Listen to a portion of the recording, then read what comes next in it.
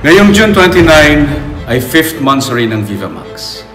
Kaya dinedeklara ko na 29 pesos na lamang for 3 days ang Only Watch sa Viva Max. Kaya sumama na kayo sa more than 300,000 subscribers na nag enjoy sa panonood ng Truly Filipino Entertainment. Dahil ito ang tunay na pambansang streaming app para sa bayan, Viva Max, atin ito. Maraming maraming salamat po sa inyo at manood na tayo.